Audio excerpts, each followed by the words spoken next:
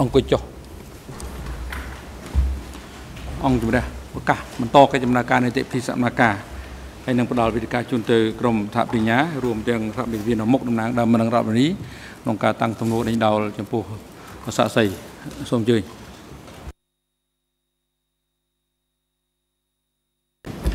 Thank you, Mr. President.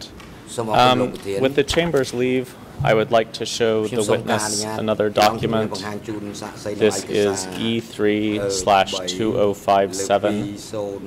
and I'm interested specifically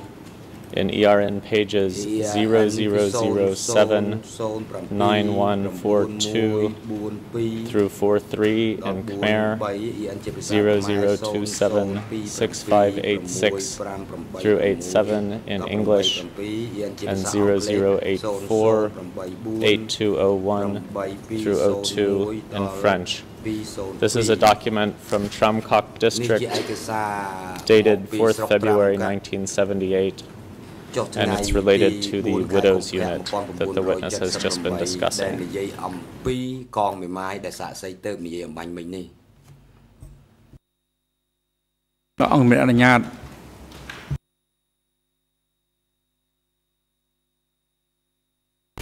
And I would ask that the document be broadcast as well.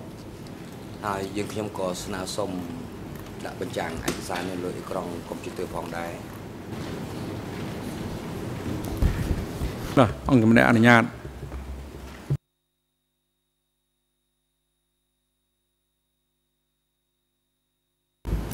Mr. Sauhin, as I've just mentioned, this is a document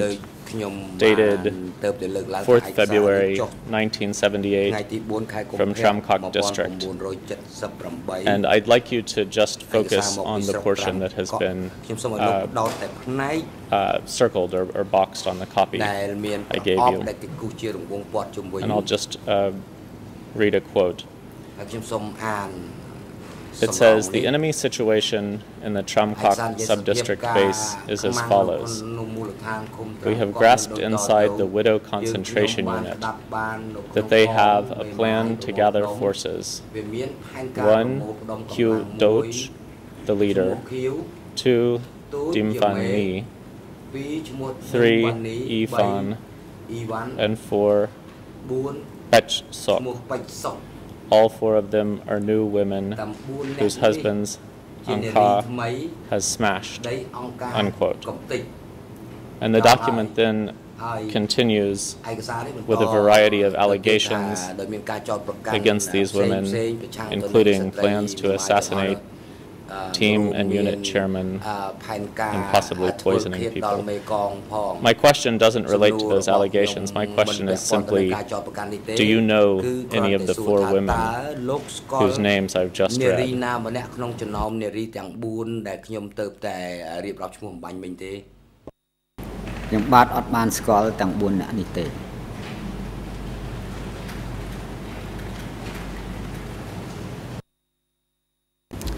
Thank you, Mr. Salhin. Mr. President, with the Chamber's leave, I'll now pass the floor to the National Deputy Prosecutor. សូមជូនវេទិកានេះជូនទៅតំណាងសហព្រះអាញាជាតិសូមអរគុណសូមជើញសហព្រះអាញារងជាតិចាសសូមអរគុណលោកប្រធានសូមគោរពលោកប្រធានលោកអសិជាក្រមសូមគោរពភិក្ខីហើយនិងសាធារណជនដែលមានវត្តមាននៅក្នុងសំណាក់ការនេះសូមជម្រាបសួរលោកសាក់សីខ្ញុំឈ្មោះសុងចវ័នជាតំណាងសហភាពអញ្ញាជាតិខ្ញុំមានសំណួរតូចមួយចំនួនដើម្បី ចង់សួរបញ្ជាក់លើលោក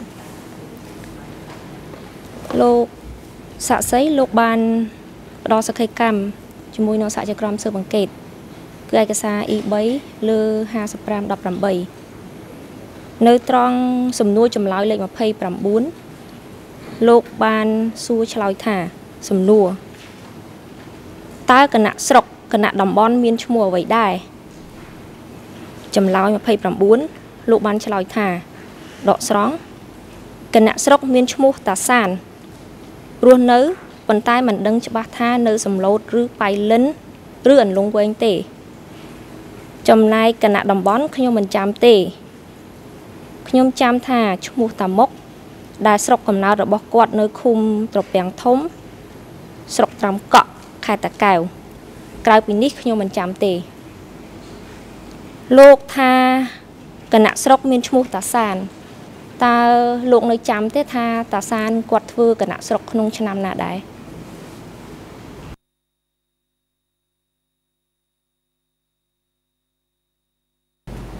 ខ្ញុំអត់បានចាំទេខ្ញុំអត់បានចាំទេ តាសានព្រោះខ្ញុំដឹងថាក្រោយមកដឹងគណៈស្រុក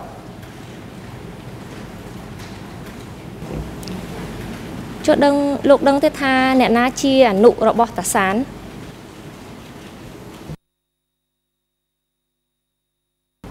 បាទអត់ដឹងចុះគណៈស្រុកមុនតាសាន លោកស្គាល់ទេ ហើយគាត់មានឈ្មោះអ្វីដែរបើលោកស្គាល់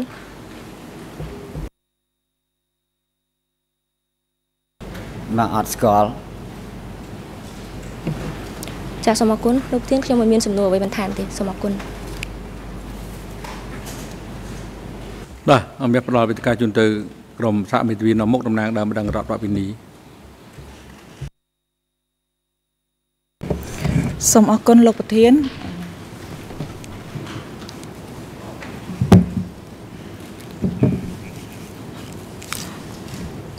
ជាដំបងនាងខ្ញុំសូមគោរពលោកប្រធានលោកលោកស្រីចៅក្រមនិងអង្គសកម្មការទាំងមូលជំរាបសួរលោកសាក់សីនាងខ្ញុំឈ្មោះទីស្រីណាជាមេធាវីតំណាងដើមដងរដ្ឋប្រវេណីនាងខ្ញុំមានសំណួរខ្លះៗដើម្បី ចោទសួរទៅកាន់លោកនឹងសូមធ្វើការបញ្ជាក់បន្ថែមបន្ទាប់ពីលោក បានឆ្លើយការពីម្សិលមិញនិងថ្ងៃនេះអឺសំណួររបស់ខ្ញុំជាដំបងអឺសូមសួរលោកថាតើលោកឲ្យមានស្គាល់ឈ្មោះប្រធានសហគរត្រាំកក់ទាំងមូលដែរឬទេបើលោកស្គាល់តើប្រធានសហគរនោះឈ្មោះអ្វីដែរ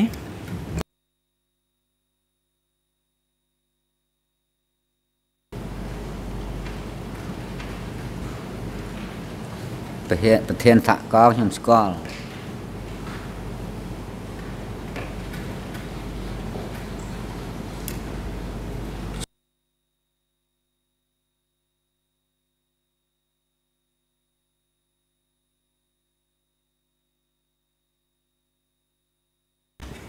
មេធាវីធ្វើតាំងសំណួរបន្តទៀត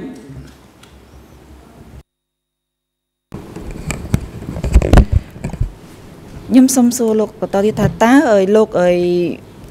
តើនៅក្នុងសហគមន៍ទាំងមូលហ្នឹង ប្រធានរបស់សហគមន៍ហ្នឹងគេមានធ្វើការផ្លាស់ប្ដូរពីប្រធាន មួយទៅប្រធានមួយឬក៏មានតែប្រធាន ម្នាក់ហ្នឹងទេ ក្នុងកំឡុងពេលពីឆ្នាំ1975ដល់79នោះគេមានធ្វើការផ្លាស់ប្ដូរអត់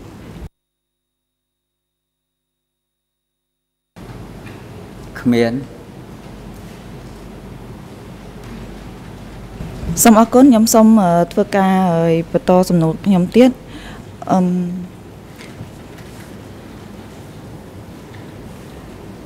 កាលពីម្សិលមិញលោកបានលើកឡើងតកតទៅនឹងប្រជាជនប្រភេទប្រជាជនហើយក្នុងនោះក្នុងចំណោមប្រភេទប្រភេទប្រជាជនហ្នឹងមានប្រជាជនលោកបាន លើកអំពីប្រជាជនថ្មីអញ្ចឹងខ្ញុំសូមសួរលោកថាតើអឺប្រជាជនថ្មីនោះគាត់មានសិទ្ធិសេរីភាព នៅក្នុងការដើរហើរដែរឬទេនៅក្នុងសហគមន៍ត្រាំកក់នឹងឬក៏នៅឃុំដែលលោករស់នៅ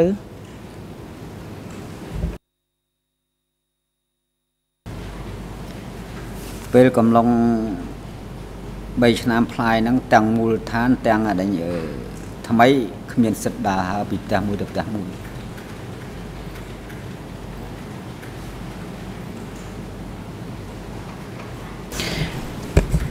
ចឹងនៅក្នុង ពេលដែលប្រជាជនចង់ធ្វើដំណើរឆ្លងពី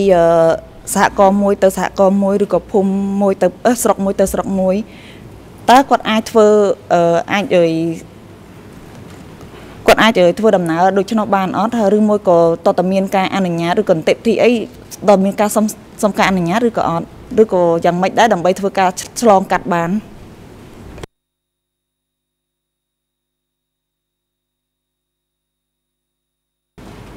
ការងារឆ្លងកាត់ពីតំបន់មួយទៅតំបន់មួយខ្ញុំមិនដែលឃើញមាន ថាសុំអីឬអីខ្ញុំមិនដែលឃើញមាន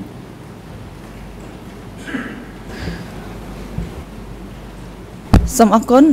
ខ្ញុំចង់សួរតកតងទៅនឹងការប្រស្រ័យតកតងរវាងសាច់ញាតិវិញម្ដងសួរតើតើនៅក្នុងរបបនោះអីប្រជាជននៅក្នុងសហគមន៍តាមកក់តមូលនឹងមានសិទ្ធិនៅក្នុងការប្រស្រ័យតកតងគ្នារវាងសាច់ញាតិបងប្អូនរបស់ខ្លួនដែរឬទេនៅក្នុងពេលនោះដូចជាការទៅសួរសុខទុក្ខឬក៏តំណែងតំណងរវាងឪពុកនិងកូនអីអាចធ្វើមាន មាន ការអនុញ្ញាតឲ្យធ្វើដូច្នោះដែរឬទេ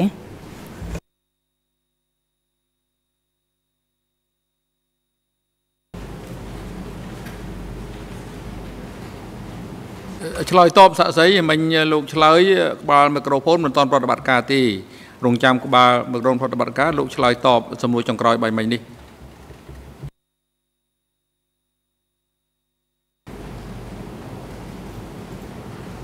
សរសៃតាក់ទងទៅស្រុកមួយទៅភូមិមួយទៅសហករណ៍មួយគ្មានគ្មានគ្មានសិទ្ធិក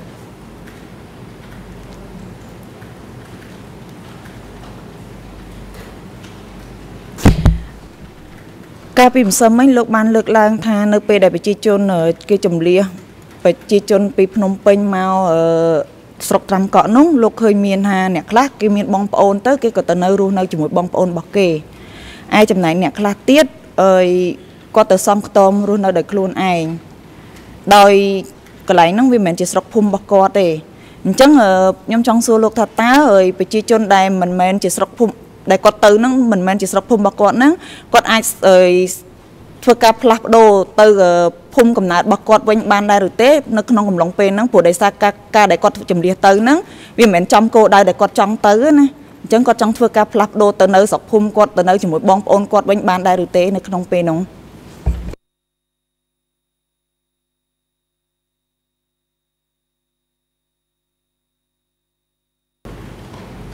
ពេលកំពុងដេញចម្លៀសចេញពីភ្នំពេញមកមកដល់ស្រុកភូមិដែលគ្មានបងប្អូនកំពុងនឹងកំពុងពេលនឹងអាចគេស្ទាក់ទុកអស់ហើយអាចសុំបាន ទៅពេលកំពុងដែលឆ្វេឆ្វាយពេញទឹកពេញដីនឹងអាចទៅបាន ពេលដែលគេរៀបភូមិរៀបកងហើយអត់បានទេ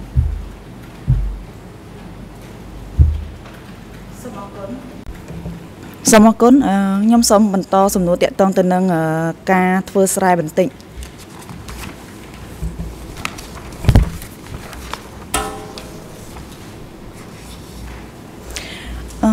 ខ្ញុំសូមសួរបញ្ជាក់លោកថាតើអើយប្រជាជនចាស់និង ប្រជាជនថ្មីហ្នឹងគេឲ្យធ្វើស្រែរួមគ្នាឬក៏ដាច់ដោយឡែកពីគ្នា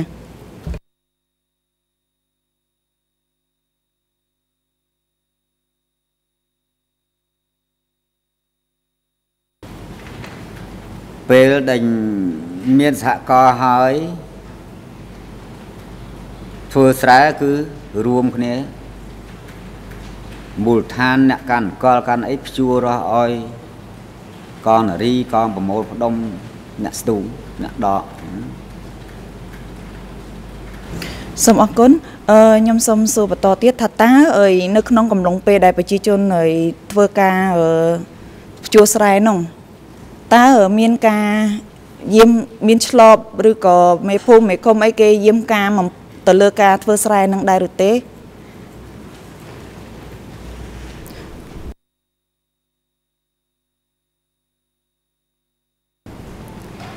គ្មានទេមានតែមេក្រុមមេកងគេនៅផ្និត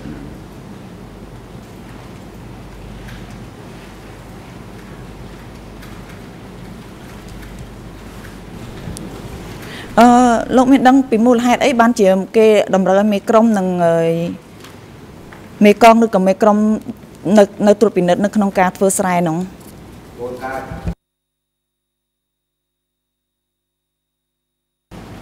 គោលការណ៍ចំនួននោះក៏ត្រូវមានមេក្រុមមេកងដល់ត្រួតពិនិត្យតាម ការដ្ឋាននីមួយៗជារៀងរាល់ថ្ងៃរាល់ពេលអញ្ចឹង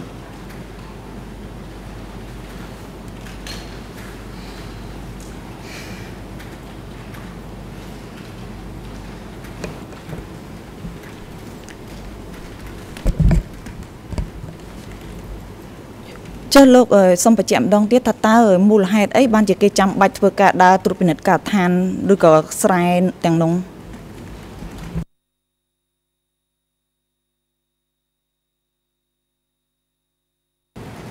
យុទ្ធសាស្ត្រក៏ចំនួននឹងគឺផែនការគេធ្វើតែចឹងរៀងរាល់ថ្ងៃរៀងរាល់ខែរៀងរាល់ឆ្នាំចឹងធ្វើតែចឹងកងនេះគេតាមណានកងនោះកងនោះទៅតាមមើលក្រៃលោកន្លែងណា ដែលវៃមិនដាច់ធ្វើមិនជឿនលឿនធ្វើមិនប្រឹងធ្វើមិនខំតាមជានិច្ចជាកាលចឹងចុះលោកមានដែរធ្លាប់ឃើញឬក៏ធ្លាប់អីឮអីទេថាតើនៅក្នុងកំឡុងពេលដែលប្រជាជន ធ្វើស្រែនឹងគាត់អើយដូចថាអ្នកខ្លះគាត់អស់កម្លាំងគាត់មិនអាចធ្វើស្រែបានទេអញ្ចឹងគាត់ទុនដៃទុនជើងអីអញ្ចឹងណាតើមានហេតុការអីកើតឡើងចំពោះបុគ្គលនឹងដែរឬទេ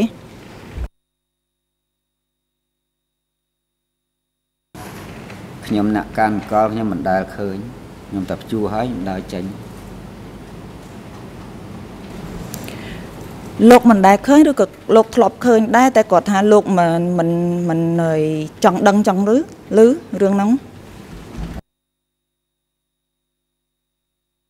ក៏កុំអត់ទាន់ឆ្លើយតបសាក់សី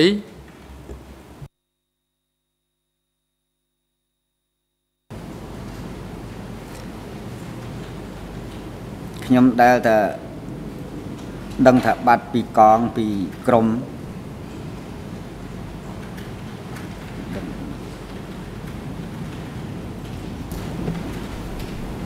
ុះលោកមានដឹងមូលហេតុអីបានជាគាត់បាត់ ពីកង ពីក្រមដែរឬទេបុគ្គលដែល បាត់ខ្លួន ពីកង ពីក្រមនោះពេលដែលចូលមកក្នុងកងក្នុងក្រមវិញខ្ញុំសួរមើលថាម៉េចបាត់តាណាអស់កម្លាំងហេវហត់រាក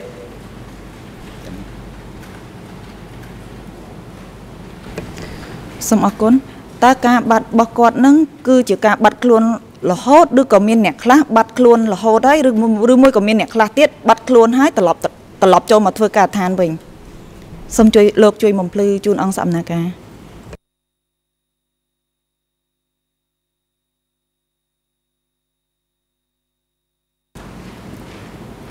បាទក្នុងការឈឺកាត់រាករូសអីតិចតួចកាលណាជាឃើញមកវិញអត់ដែលបាត់រហូត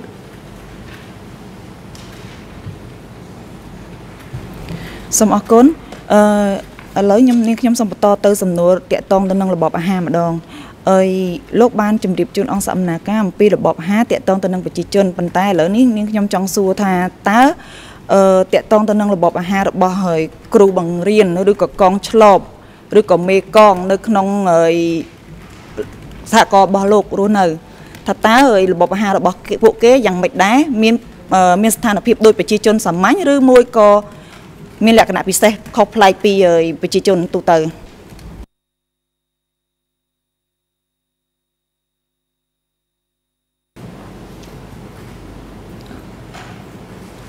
ហូបមហាខាងគ្រូខាងឆ្លោកខ្ញុំអត់ដឹងដឹងតែខាងជាពលរដ្ឋធ្វើស្រែដកស្ទូងជាមួយ គ្នាធម្មតាហូបជាមួយគ្នាធម្មតា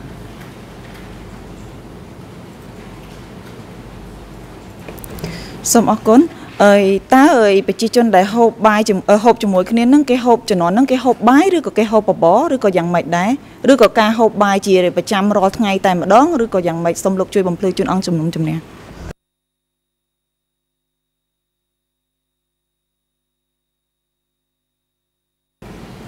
សហករខ្ញុំបាយរាល់តែថ្ងៃបន្តិចតិចមកតុក10នាក់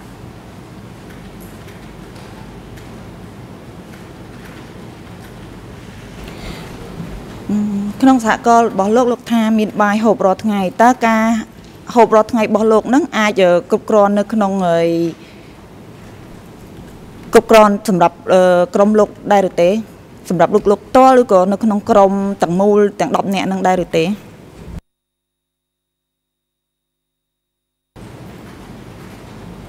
មិនក្រន់ទេ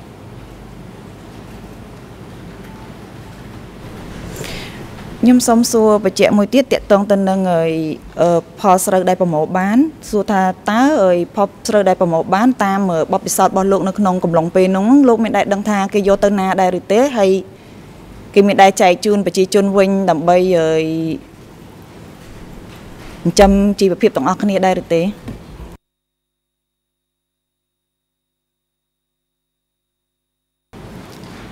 ពេលច្រូតកាត់ប្រមូលផលគេមានក្រងវាវិញវិញធំធំចឹងគេមានកងគេប្រមូលយកដាក់ទុក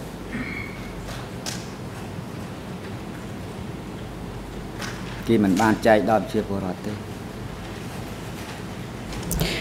តាមការសង្កេតរបស់លោក តើផលស្រូវដែលគេប្រមូលបានហ្នឹងលោកមានឃើញថាទំហំចំនួនស្រូវហ្នឹងច្រើនឬក៏តិចនៅក្នុងកំឡុងពេលហ្នឹង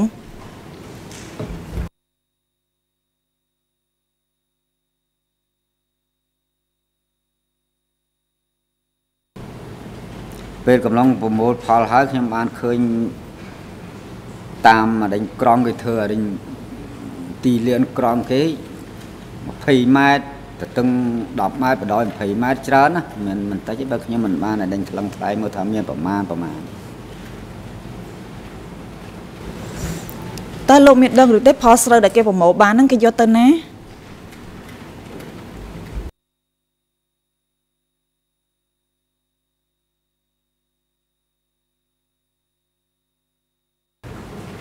អត់បានដឹង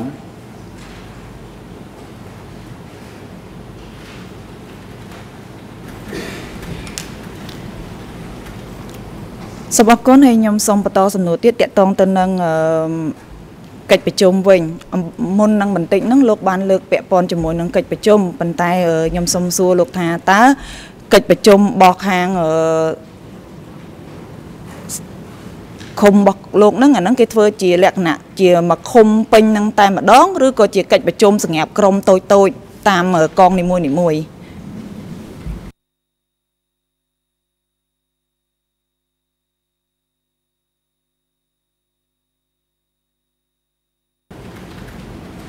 ជាញឹកញាប់ប្រជុំតាមកងតាមក្រុមនីមួយៗ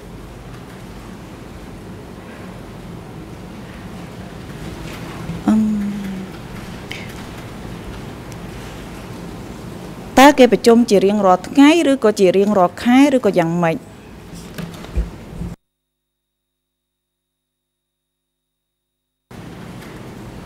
ពេលដែលផ្លាស់ប្ដូរទីតាំងការងារគឺ ប្រជុំហើយតែផ្លាស់ប្ដូរពីកន្លែងមួយទៅកន្លែងមួយគឺពេលហ្នឹងប្រជុំប្រាប់ផ្លាស់ប្ដូរទៅទីនេះទីនោះ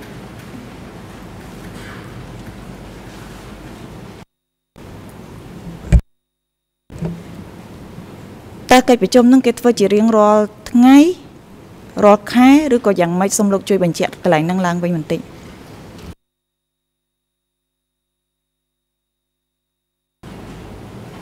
ពេលប្រជុំមានផែនការការងារគឺមិនរៀងរាល់ថ្ងៃទេតែផែនការគេថាអង្គការដាក់ចុះមកគឺគឺផែនការប្រជុំចឹងចឹងខ្ញុំសូមបញ្ជាក់បន្តិចលោកថាអើយតើតើមានផែនការដាក់ចុះទៅបានគេក៏ហៅប្រជុំអញ្ចឹងមែនឬទេ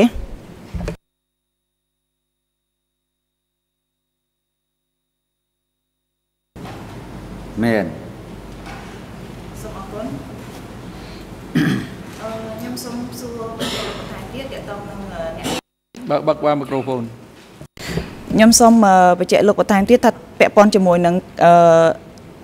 អ្នកចូលរួមប្រជុំតើនរណាគេជាអ្នកអើយចូលរួមរាល់កិច្ចប្រជុំម្ដងម្ដង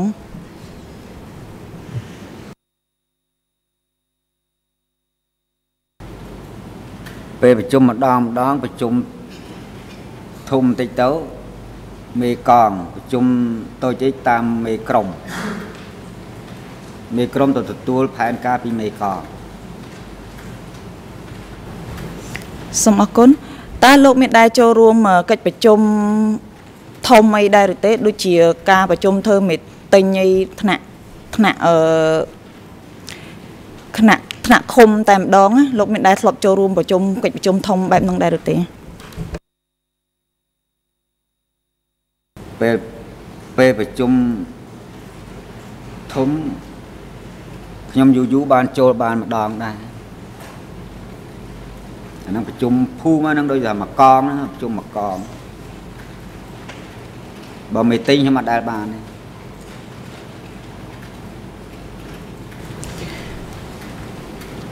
ចុះក្នុងកំឡុងពេលដែលលោករស់នៅក្នុងស្រុកត្រាំកក់3ឆ្នាំ8ខែហ្នឹងតើលោកមានដែរឃើញថ្នាក់ដឹកនាំណាមួយគេចុះទៅសហគមន៍របស់លោកដើម្បីសួរសុខទុក្ខប្រជាជនដែរឬទេ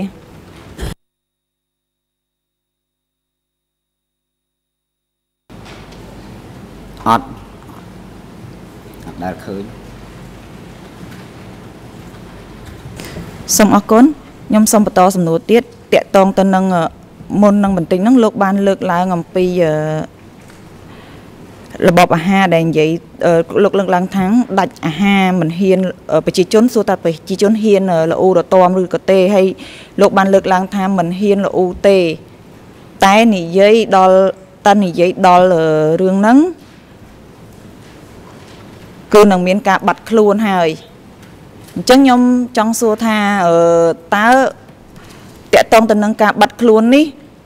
លោកដឹងតែមិន ខ្លួនឯងតែម្នាក់ឯងឬក៏មានគេចិត្តចិត្តខាងរបស់លោក ដឹងឬឮរឿងបាត់ខ្លួននឹងដែរឬក៏យ៉ាងម៉េចសូមលោក ជួយបំភ្លឺជូនអង្គជំនុំជម្រះបន្តិច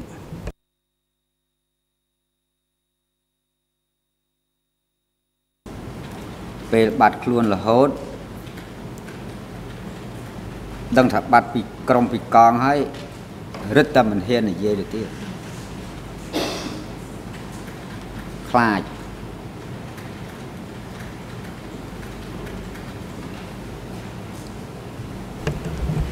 អឺសូមអរគុណខ្ញុំសូមធ្វើការបញ្ជាក់ឡើងវិញបន្តិចថាតើនៅពេលដែលមានការបាត់ខ្លួនហ្នឹងអ្នកដែលដឹងរឿងរឿងនៃការបាត់ខ្លួននេះគឺ អ្នកចិត្តខាងរបស់លោកក៏ដូចជាប្រជាជននៅក្នុងសហគមន៍ត្រាំកក់ទាំងមូលហ្នឹងគេដឹងឮរឿងហ្នឹងដូចគ្នាឬក៏យ៉ាងម៉េច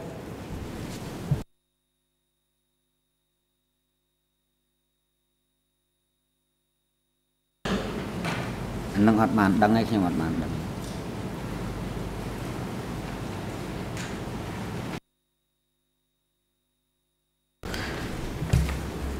សូមអរគុណពាក់ព័ន្ធជាមួយនឹងការភ័យខ្លាចវិញដោយលោកលោកផ្ទាល់លោកមានលើកឡើងថាអត់តារឿងអីមួយអញ្ចឹងគឺមានតែងតែមានការភ័យខ្លាចសំបីតការហូបចុកក៏មិនហ៊ាននិយាយគឺតែងតែមានការភ័យខ្លាចដោយសារហើយមូលហេតុនៃការបាត់ខ្លួនអញ្ចឹងខ្ញុំចង់សួរថាអ្នកដតីហ្នឹងក៏គេមានការភ័យខ្លាចដោយរូបលោកដែរឬក៏យ៉ាងម៉េច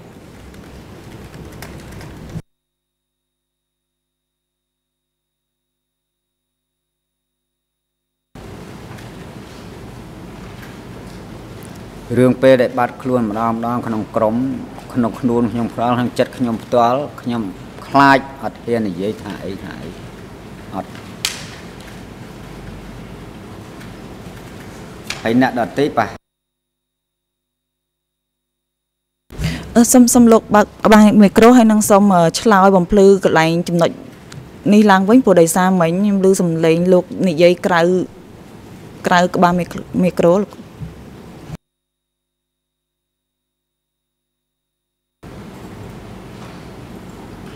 ពេលដែលបាត់ខ្លួន ក្នុងក្រមម្នាក់អីចឹងទៅខ្ញុំរឹតតែភ័យឡើង ខ្លាចឡើងអត់ហ៊ាននិយាយអីទាំងអស់ខ្លាចថ្ងៃណាមួយដល់វេនខ្ញុំចុះចំពោះអ្នកដតីអ្នកចិត្តខាង របស់លោកតើគេដូចលោកភ័យខ្លាចដោយរូបលោកដែរអំពីការបាត់ខ្លួននឹងដែរឬក៏យ៉ាងម៉េចបើនៅក្រុមមួយគ្នាផ្ទាល់មានអ្នកខ្លះបានម្នាក់ហ្នឹងតណាមិនឃើញមកមាននិយាយតែប៉ុណ្ណឹងសួរគ្នាឯងផ្ទាល់តែទុកចិត្តតាមការសង្កេតរបស់លោកតើស្ថានភាពពេលដែលពួកគាត់លើកនិយាយជុំគ្នាជាមួយលោកហ្នឹងសួរថាតើអារម្មណ៍របស់គាត់ហ្នឹងមានការភ័យខ្លាចដោយរូបលោកដែរឬក៏គ្រាន់តែនិយាយចោលទេ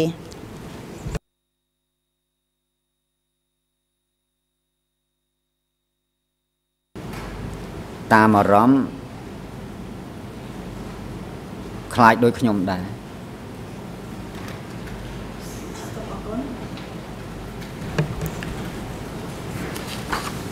សូមអរគុណអឺនាងខ្ញុំសូមសួរតកតងទៅនឹង ទីសន្សុកតិចសួរតើតើលោកនៅក្នុងសហគមន៍របស់លោកនឹងលោក មានស្គាល់ទីសន្សុកណាដែរឬទេអឺ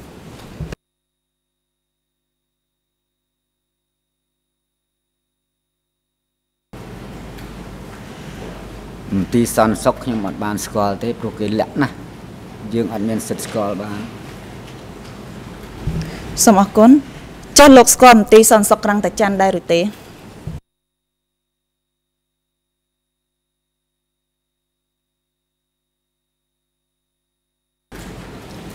ពេលក្រោយនេះហើយបានខ្ញុំស្គាល់ហើយខ្ញុំបានទៅដល់ទៀតពេលក្រោយ79នេះសូមអរគុណចឹងនៅក្នុងកំឡុងពេលដែលលោករស់នៅ3ឆ្នាំ8ខែក្នុងសហគមន៍ត្រាំកក់នឹងតែលោក មានដែរប្រទះឃើញរណ្ដៅសាក់សពអីដែរឬទេនៅម្ដុំចិត្តចិត្តតំបន់លោករស់នៅនោះ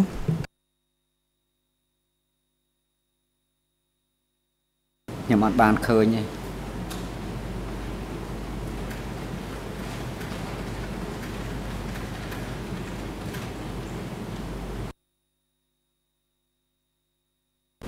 សូមអរគុណនាងខ្ញុំសូមសួរសំណួរតកតងទៅនឹងផ្ទះសម្បែងប្រជាជនវិញ នៅ ក្នុង កំឡុងពេល3ឆ្នាំ8ខែនឹងតើនៅក្នុងសហគមន៍របស់លោកនឹងគេមានចែកផ្ទះឲ្យប្រជាជនរស់នៅតើការចែកផ្ទះឲ្យប្រជាជនរស់នៅនឹងគឺចែកដើម្បីឲ្យទៅជាកម្មសិទ្ធិរបស់ប្រជាជនមួយមួយឬក៏គ្រាន់តែឲ្យស្នាក់នៅបដិសន្ធទេ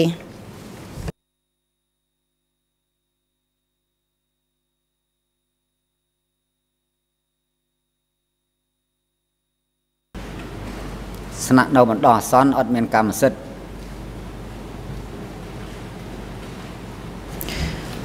សូមអរគុណអើយនាងខ្ញុំសូមចប់សំណួរត្រឹមនេះហើយនឹងសូមផ្ទេរវេទិកានេះជូនទៅលោកស្រីម៉ារីគីរ៉ូដែលជាសហមេធាវីនាំមុខអន្តរជាតិដើម្បីតាំងសំណួរបន្តសូមអរគុណលោកប្រធានបាទអរគុណសូមអញ្ជើញសហមេធាវីអន្តរជាតិនាំមុខតំណាងដើមនឹងរដ្ឋបាវីនី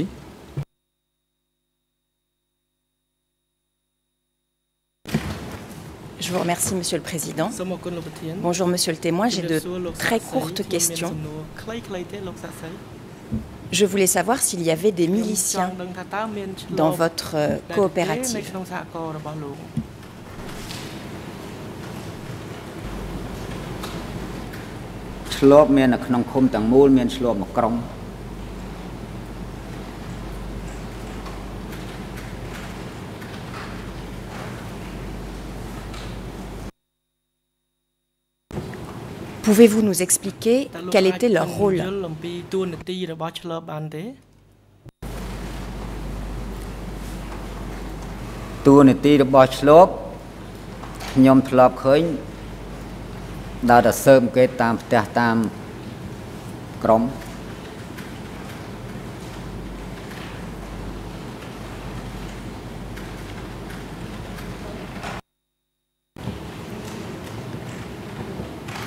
Donc si je comprends bien, l'activité des miliciens était limitée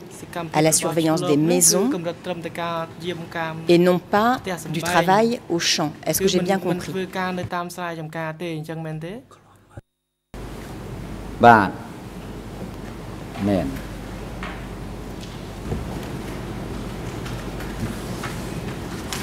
Savez-vous ce qu'ils surveillaient Quand vous dites qu'ils surveillaient les maisons, que surveillaient-ils exactement តាមផ្ទះហ្នឹងគាត់ធ្លាប់មើលអីដែរពេលដែលគាត់ឃ្លាំមើលឃ្លាំមើលតាមផ្ទះតាមតូបនីមួយនីមួយហ្នឹងចាំមើលអ្នកលួច ចំណីចំណុកអីហូបនៅពេលយប់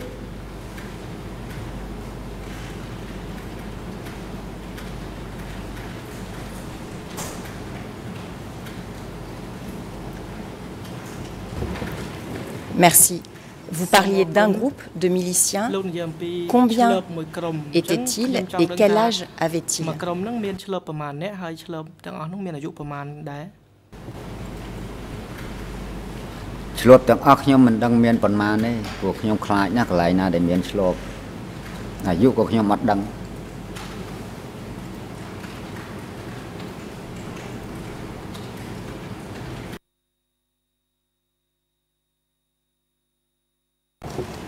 Pouvez-vous nous indiquer si vous voyez régulièrement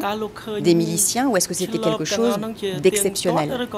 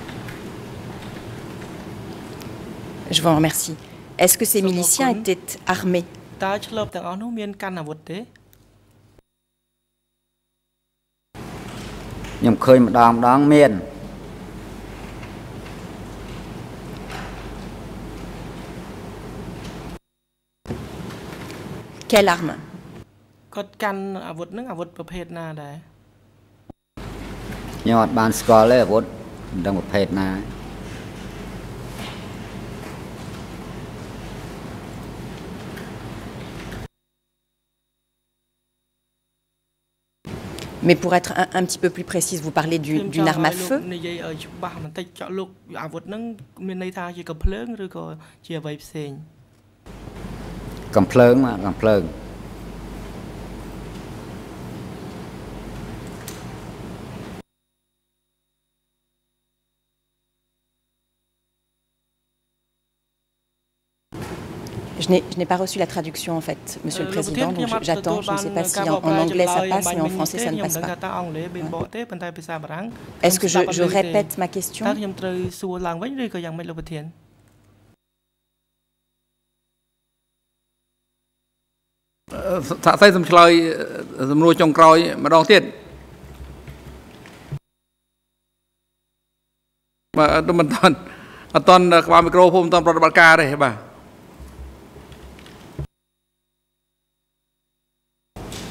Et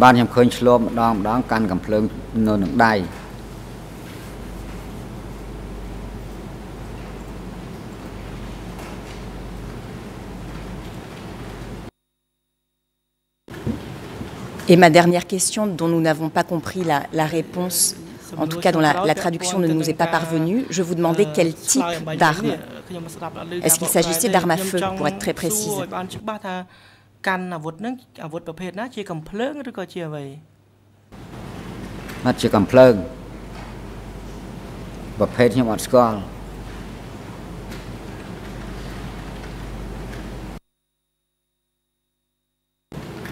vous remercie. J'ai juste une dernière question.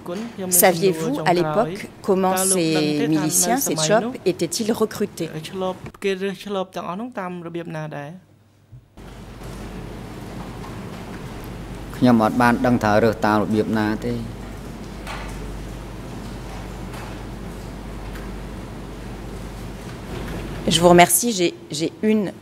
une dernière question. Nous avons entendu hier un, témoignage euh, d'un témoin qui nous disait que les miliciens étaient chargés de surveiller les couples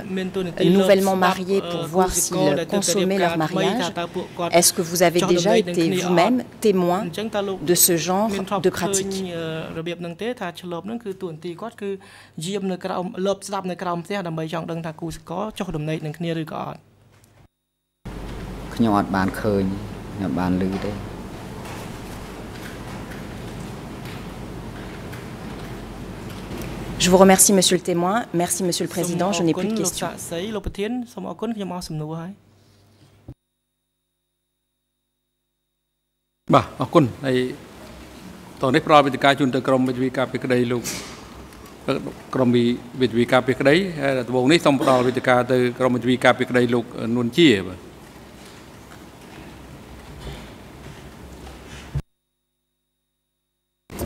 Thank you, Mr. President. Uh, good morning, Mr. Witness. សូមអរគុណលោកធានជម្រាបសួរលោកសាស្ត្រីខ្ញុំមិនមានសំណួរច្រើនប៉ុន្មានទេមានតិចទេ uh, um, One question that I have is about what you just said um, 20 minutes ago. Did I understand correctly that you only heard about Krang Chan after 1979? ក្រោយឆ្នាំ1979អញ្ចឹងមែនទេបាទអញ្ចឹងមែនអឺ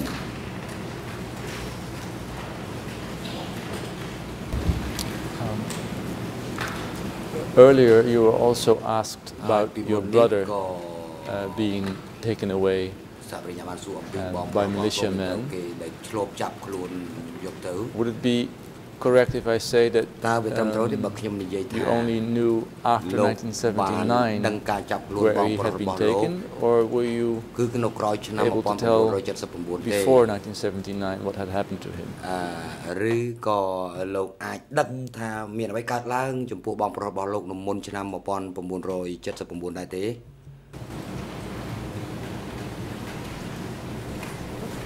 ពេលមុន1979គ្មានអីកើតឡើងគឺបងប្រុសខ្ញុំមួយហ្នឹងនៅក្នុង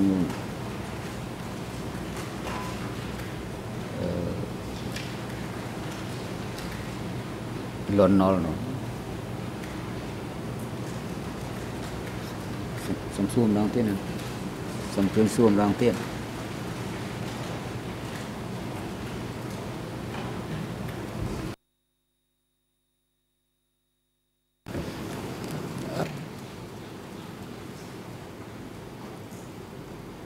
ដាក់ដាក់ក្បាលមករយទៀបតិចទៅទៀបទីនឹងតិចអូខេបាទបាទលោកបៃតងកាហ្វេតាំងសំណួរលោកម្ដងទៀតចំពោះសាស្ត្រីសាស្ត្រីស្ដាប់សំណួរលោកមិនយល់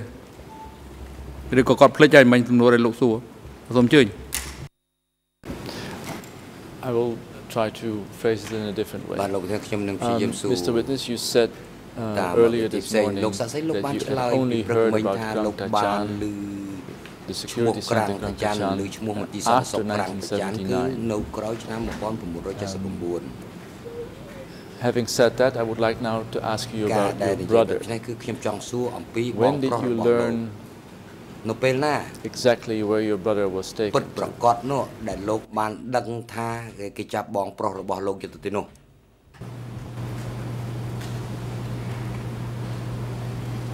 ក្រោយពេលដែលចាប់បងប្រុសខ្ញុំទៅនោះបានដឹងពីបងប្អូនក្នុងគ្រួសារនឹងដែរ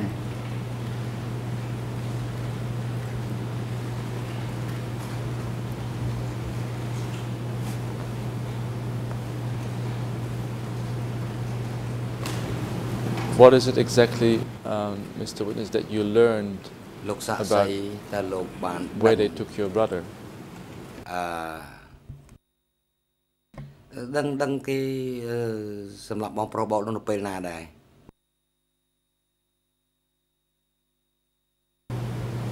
បាទអត់ដឹង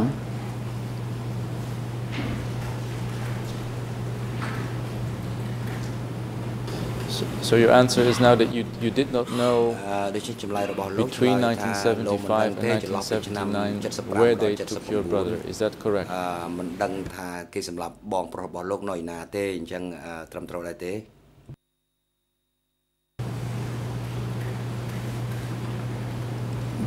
បាទត្រឹមត្រូវ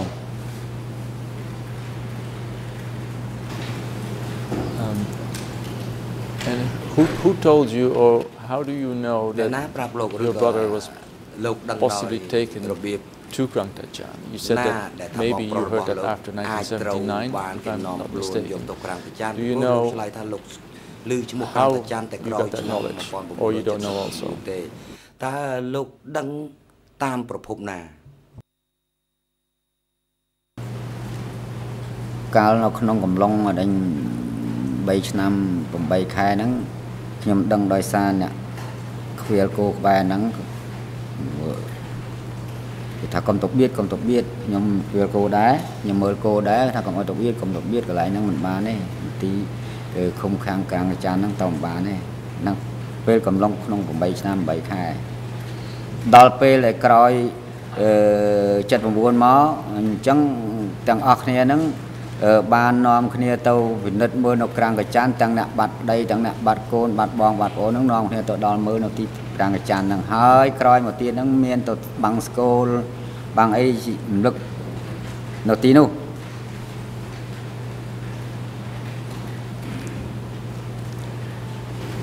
Um, did you maybe see the name of your brother on, on documents that were found after 1979 or, or you didn't? ទេឬក៏លោកមិនបានរកឃើញឈ្មោះបងប្រុសរបស់លោកនៅទីនោះទេបាទអត់ឃើញទេមិនដែលបានតាក់ទងដល់សួររកឈ្មោះនឹងផង So to conclude, would it then be fair to say that you don't know for sure that your brother ended up in Krang Tachan?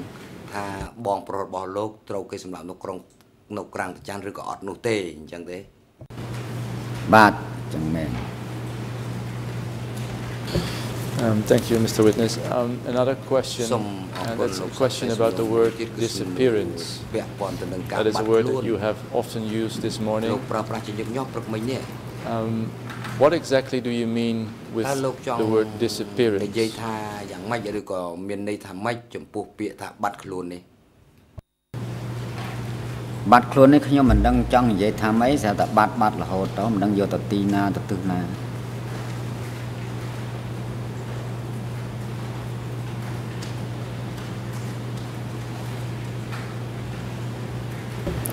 I understand that answer, uh, Mr. Moniz, but would it be possible that if somebody went away from the cooperative, didn't come back, that maybe he was transferred to another zone or another cooperative that you didn't know?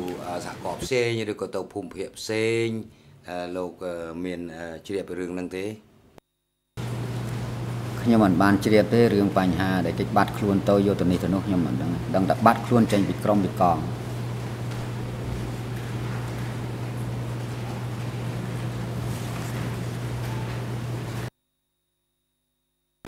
So just to be sure, your word disappearance simply means that somebody went away and didn't come back, correct? Thank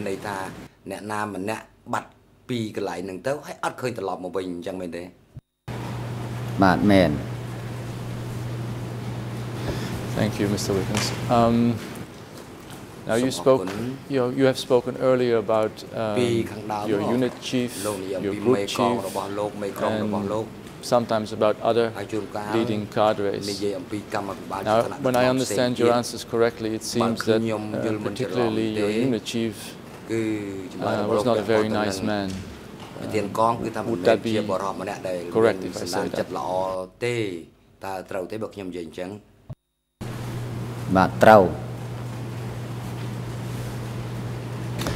Um, I would like to um, put some words to you um, and ask you if any of these words would describe his attitude toward you and other members of um, your unit. Uh, characteristics as you will as you describe the behavior of this unit chief. So I'm, I'm going to give you six or seven words, and I would like to ask you if any of these words apply to to his his behavior and attitude. Do you understand, Question follow.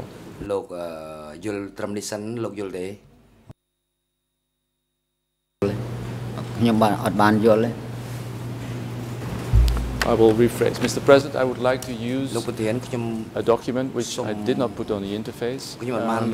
but it is a document well known uh, with all parties. It is um, a page from Revolutionary Flag from July 1978. It is ER slash uh, 746. And uh, the English ERN is 00428 uh, the Khmer ERN is 0064504 in the French ERN 006-11886. Now, the English page of this revolutionary flag is 17. Um, and specifically, I would like to go to the paragraph just um, before paragraph 5. And um, there are some attitudes and, and words being uh, described, and I would like to uh, use these words and uh, ask the witness if he recognizes the behavior of his unit chief in any of those words.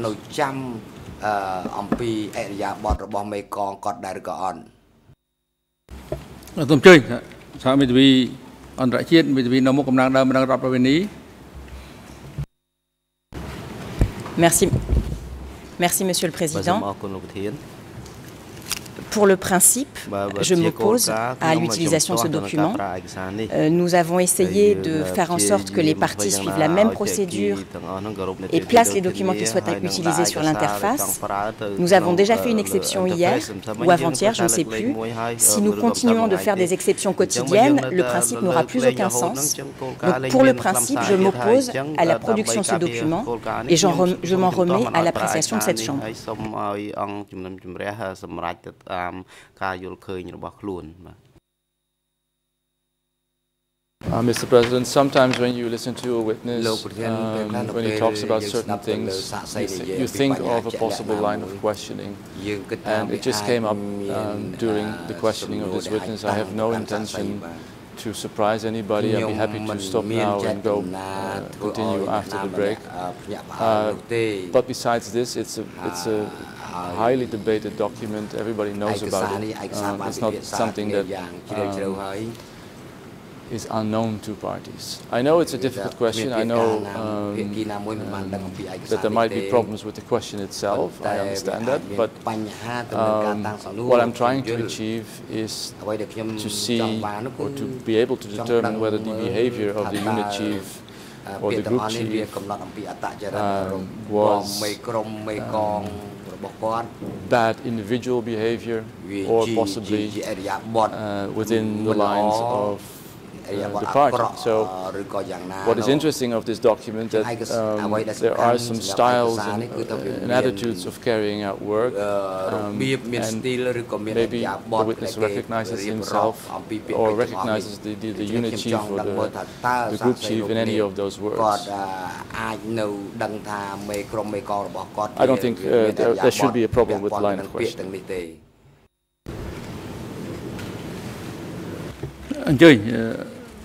Thank you,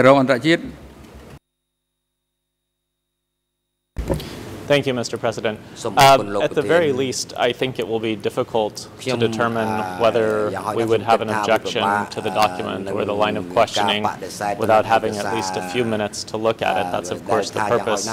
of providing notice of documents. Uh, if Mr. Kopa is happy to move on to another line of questioning, uh, repeat the document number, which I didn't catch, and come back to this after the break, then we would be able to uh, indicate whether we have an objection or not.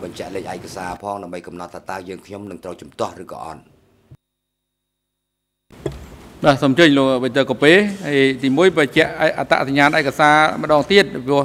ដោយភាពមិនច្បាស់លាស់រវាងភាគីដែលពាក់ព័ន្ធហ្នឹងគឺសូមអានយឺតយឺតហើយនឹងអាចអានពីរដងនៅដូចយើងបានជម្រាបលោកម្ដងហើយ បញ្ហាហ្នឹងហើយទី2បើមាន ទំនួលអីផ្សេងទៀតសួរសំរួលនឹងសិនទៅហើយចាំមើលភាគីគេពិនិត្យលើឯកសារដែលលោកមានបំណងក្នុងការផ្អែកជាសម្អាងក្នុងការតាំងសំរួលនេះដល់ចំពោះសាក់សីនេះនៅកំឡុងពេលអាហារថ្ងៃត្រង់ជាមុនសិនហើយអង្គជំនះនឹងពិនិត្យសម្រាប់លើបញ្ហានេះនៅបន្ទាប់ពីចូល ចាប់ផ្ដើម ក្រោយពេលអាហារថ្ងៃត្រង់បើនៅរសៀលនេះ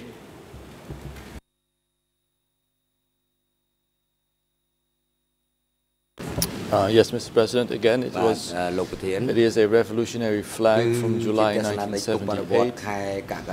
It is E3 slash 746. Um, English ERN 004283055. Uh, French ERN 00611886 and Khmer ERN 00645004. and, and the words I was intending to use. And the reason I'm using this document because I would like to have the exact my word is um, uh, the words. អឺលោកប៉ុណ្ណឹងបានហើយ លោក មានទំនួលអីសួរផ្សេងពីនឹងទេចំពោះអ្វីដែលត្រូវ ដោះស្រាយបញ្ហានេះអង្គជំរះចាំទុកពេលវេលាឲ្យភាគីម្ខាងទៀតដើម្បីពិនិត្យឯកសារនេះហើយចូលមកវិញថាគាត់ជំទាស់ឬមិនជំទាស់ពេលនោះអង្គជំរះនឹងសម្រេចលើបញ្ហានេះឲ្យបានដាច់ចរាចតែម្ដងមិញមានការជំទាស់ច្បាស់លាស់ហើយ ពីក្រមមេធាវីនៅមុខតំណាងដើមម្ដងរដ្ឋបវេនីប៉ុន្តែនៅ ថាប្រញ្ញាមួយទៀតភាគីមួយមួយដែរហើយបើមានលោក មានទំនួលអីផ្សេងពីនេះសួរទៅហើយទំនួលនេះទុកដោះស្រាយនៅពេលដែលអង្គជំរះសម្រេចរួចក្រោយពេលសហប្រញ្ញាអន្តរជាតិថាបញ្ញារងអន្តរជាតិនឹងគឺសម្រាប់ថាជំទាស់ឬមិនជំទាស់ក្រោយពេលគាត់ពិនិត្យឯកសារនៅក្នុងឡុងពេលសម្រាប់អាហារថ្ងៃត្រង់នេះអ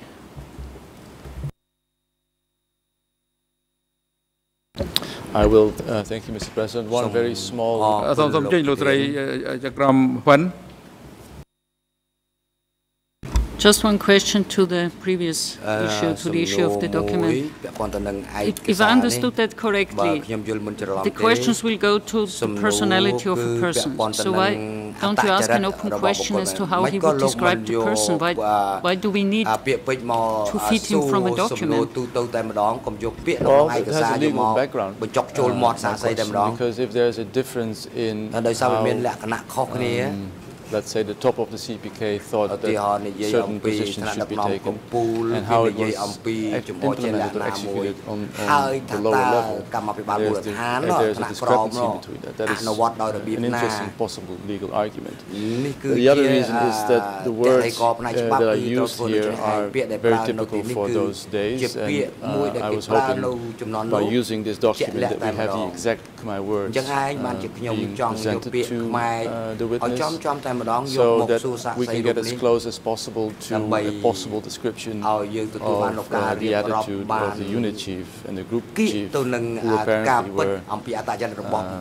um, So that's why I wanted to stay as as close to um the description of the attitude of the group chief and the unit chief by using the words described the words used to describe the behavior of lower-ranking In other words, to finish my argument apparently higher level cadre uh, cadres or the top of the CPK didn't want lower cadres to behave a certain way have uh, explicitly formulated how lower cadres should behave of attitudes of lower cadres toward people um, memories with this with with this witness so that's the there's a, there's a legal and a factional a, uh, uh, a fact rationale behind the question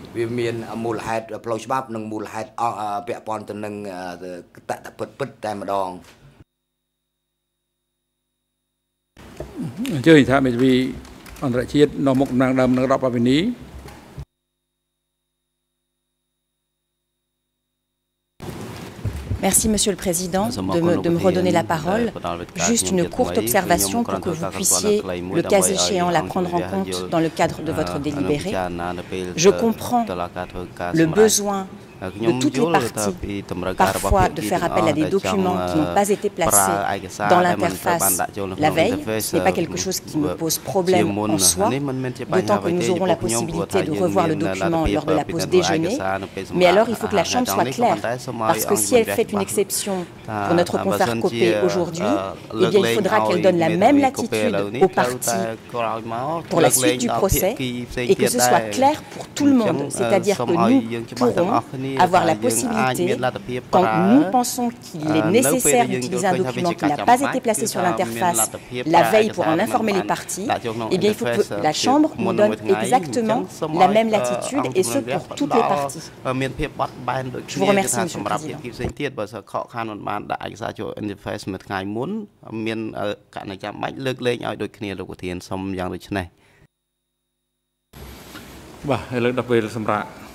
នៅត្រង់ហើយអត់មានប្រកាសសម្រាប់ចាប់ពីនេះទៅទៅរហូតដល់ម៉ោង1:30នាទីរសៀលនេះអញ្ជើញចូលវិញដើម្បីបន្តកិច្ចដំណើរការសកម្មភាព